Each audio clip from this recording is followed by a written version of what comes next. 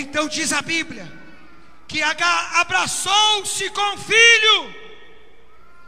E quando abraçou com o filho, Deus lhe abriu os olhos. H não era cega, mas Deus abriu os olhos dela, por quê? Porque ela estava só olhando para debaixo da árvore, aonde deixou o menino. Ou seja, ela estava só olhando o filho, para a morte, para a sede, para a fome, para o problema, para a dor, para a angústia. Enquanto isso, Deus estava abrindo uma fonte do lado dela e ela não estava enxergando.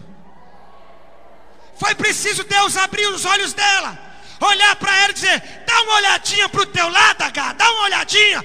Ela olhou para o lado, tinha uma fonte jogando água para cima. Ela disse: Mas aonde estava essa água? Aonde estava essa fonte que eu não vi? Tu cega com problema, e eu estava trabalhando do teu lado e você não estava vendo. Levante a sua mão comigo assim. Deus te trouxe hoje aqui para te dizer isto. Eu estou trabalhando do teu lado e você não está percebendo. Eu estou abrindo uma fonte do teu lado e você ainda nem percebeu. Tem problema querendo te cegar, te desesperar. Aleluia, você não está enxergando o que tem que enxergar.